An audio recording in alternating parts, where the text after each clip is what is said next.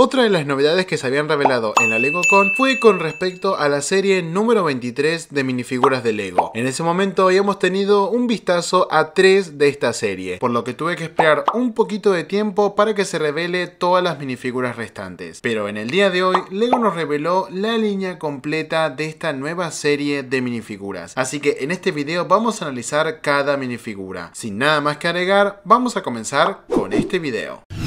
Su número de serie sería el 71.034, con un precio de 4,99 dólares y euros y va a estar disponible el primero de septiembre. Y bueno, durante el evento, como les comentaba, se habían revelado tres minifiguras de esta serie. Y ya que tenemos toda la línea completa, vamos a analizar cada minifigura a detalle. Por lo visto, vuelve el tema de los disfraces. Así que bueno, una vez aclarado todo esto en la introducción, vamos a analizar cada minifigura. Y bueno, qué mejor que comenzar con el cascanueces. Y bueno, por lo visto viene con un molde exclusivo, por así decirlo, de este sombrero que viene acoplado en la misma pieza de la parte del pelo. Vemos que viene con una impresión de rostro con los bigotitos y la barbita. La parte del torso que está bastante llamativa con todos los diseños y todo eso. La parte de las piernas también. Y en cuanto a accesorios viene esta espada en color dorado y esta especie como de pequeña nuez. Al principio pensé que era una moneda, pero no, acá viéndola más detalle es una pequeña nuez. Continuamos con el hada de azúcar. Y bueno, por lo visto es una pequeña niña que está haciendo como un trajecito de un hada en color rosado. Vemos también que viene con estos accesorios, ¿no? De las alas ahí un poquito translúcidas que vienen con algunos diseños. En la parte del torso que también tienen algunos pequeños grabaditos, una, una pieza de una pollera. Y después también como accesorio sería esta pequeña coronita que está en la parte del pelo. Una cosa que quiero comentar así a modo general, que tanto en la impresión del rostro como en las piernas, vienen con estos pequeños caramelos caramelitos, estos pequeños dulcecitos o chispitas que están ahí como, no sé, como decoración. Hablando de decoración, viene este accesorio de un bastón de caramelo. Seguimos con el traje del dragón verde. Y bueno, la verdad que acá no tengo mucho para decir, ya que en cuanto a lo que sería la minifigura como tal, ya se había visto. Creo que el dragón estaba en color rojo y acá vuelve el tema de este traje, pero en color verde. Por eso les digo, no hay mucho que comentar, porque tanto la que sería la cabeza del dragón, como las alas y el torso, sí es verdad de que tienen algunos detalles como de pequeñas escamas o las garras o las alas como tal, pero después por todo lo demás no podría llamar mucho la atención. Si querés tener un tema de variantes en cuanto a dragones, este podría ser una opción. La siguiente minifigura sería el muñeco de nieve. Vemos de que viene con la parte de lo que sería la cabeza, que viene con lo que sería el diseño de la nariz con una zanahoria y después unos pequeños circulitos para hacer el tema de la boca. En la parte de arriba viene un gran sombrero en color negro. Después también viene con una bufanda en color rojo. Y en la parte del torso también tiene unos pequeños botoncitos. En cuanto a accesorio es esta pequeña escoba que supongo que debe ser para barrer el tema de la nieve. Creo que la minifigura el único cambio que le haría sería en la parte de los brazos que le cambiaría lo que sería el color a ser un tono más marrón por el tema de las ramas para los bracitos. Una de las minifiguras que se habían revelado en la LegoCon fue la que les voy a comentar a continuación, que es el traje de reno. Y bueno, por lo visto viene con una impresión de torso, con lo que sea la parte del animal y todo eso, con este collar con un pequeño cascabel y la parte de lo que sea la cabeza es un molde que viene con las, lo que sea las orejitas, la nariz y la parte de los cuernitos. También viene en cuanto a accesorio es este regalo, ¿no? Que adentro por lo visto sería una galleta de jengibre en forma de corazón que viene también con unos pequeños detallitos. Pero acá lo más importante y lo más llamativo es la expresión que tiene la niña dentro del traje. Miren esa felicidad que tiene esa niña. Siguiendo con esta temática navideña, tenemos el elfo navideño. Y bueno, por lo visto podría llegar a ser una minifigura muy buscada por los coleccionistas, ya que viene con un accesorio muy particular. Pero bueno, en cuanto a lo que sea la minifigura, vemos de que viene con los colores clásicos, ¿no? De un elfo navideño en color verde, con el tema del cinturón, la parte ahí de arriba en color rojo con algunos tonos en dorado o amarillo. Y después vemos de que viene este pequeño sombrerito con las orejitas y las trencitas ahí de la niña. Y como les comentaba, este accesorio de esta esfera de nieve que adentro viene una pequeña pieza de una casa. Así que es un accesorio que puede llamar bastante la atención. La siguiente minifigura sería el traje de un pavo. Un accesorio o una minifigura que puede hacer alusión a esa tradición muy típica de Estados Unidos. Y bueno, por lo visto viene con una impresión ahí con el tema de las plumas, con las alitas y todo eso. La parte de la pieza, ¿no? En lo que sea la cola. Y después también en la parte de lo que sea la cabeza, que es un molde en color rojo, con lo que sea los ojos en color azul. Y después por lo visto en la parte de arriba viene con unas pequeñas plumitas o como un pequeño detalle ahí en la parte de arriba. Y en la parte de lo que sería la cintura viene con esta pieza rara que habíamos visto anteriormente con otras minifiguras. Y en cuanto a accesorios sería una calabaza,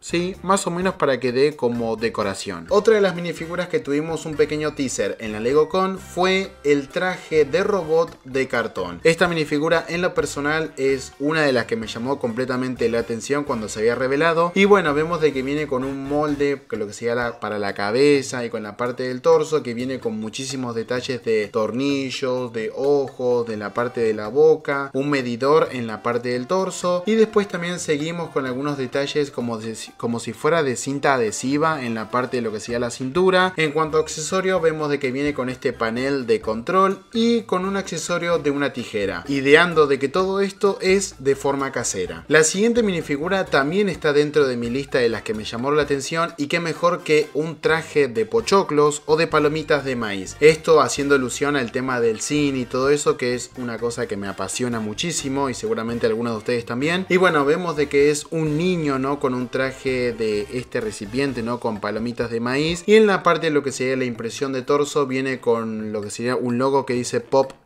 Y una de las cosas que debo comentar que no se vio con otras minifiguras y es que en la parte de las piernas viene con estas piezas móviles para las pequeñas minifiguras que sean el tema de niños. Creo que es una de las cosas que no se implementó en otras minifiguras, pero como que en algunas sí la podemos ver. Y bueno, ya estamos pasando a las últimas tres minifiguras, pero continuamos con el traje de lobo. Y bueno, la verdad que hacía a modo general como que me hace acordar a ese lobo que vimos por ejemplo en Caperucita Roja, más o menos, ya que viene con este molde que lo que sea para la cabeza, con lo que sea los dientes, el hocico, las orejas, la parte de lo que sería el pelaje y todo eso. Y después en la parte de lo que sería la impresión de torso, vemos que viene con este pequeño jardinerito. Y después vemos también en la parte de lo que sería las piernas que está como rasgado, ¿no? Por así decirlo, esta pequeña vestimenta. Atrás vemos que viene con la típica pieza de una colita de un lobo. Y en cuanto a accesorio es una bolsa. Pero ojo, acá vemos de que viene con algunas impresiones en la bolsa. La penúltima minifigura es la que tuvimos un primer vistazo en la Lego Con, que es el capitán del ferry. Bueno, vemos un poquito el tema de la minifigura que viene con esta impresión de torso, con un traje en color azul marino, con algunos detalles en la parte de los brazos, los guantes, la corbata y todo eso. También en la parte de arriba viene este sombrero típico, ¿no? De estos capitanes que viene con el logo de un ancla, con, con lo que sean los diseños ahí en negro, con dorado y blanco y todo eso y la parte de lo que sea el rostro con los bigotitos, la barbita y todo eso. En cuanto a accesorio es este barco que más o menos viendo por el tema de los colores y el diseño a modo general me hace acordar mucho al Titanic.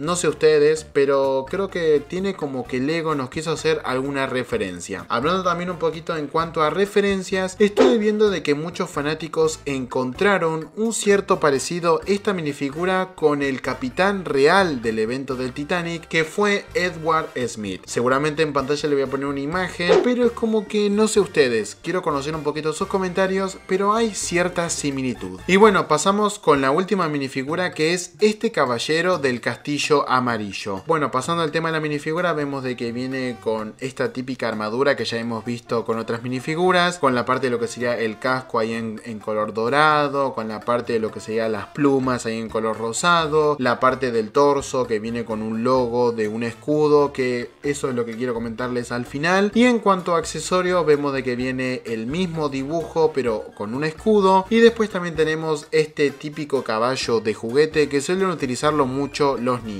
que viene con este molde, lo que sería para la cabecita, y un pequeño palito en color rojo. No sé ustedes, pero les quiero hacer un pequeño recordatorio. Por lo visto, este mismo logo aparece en el set que tuvimos recientemente que es el castillo por los 90 años de Lego. En un momento vemos este mismo diseño con este escudo y todo eso, el mismo dibujo. También quiero conocer un poquito sus comentarios.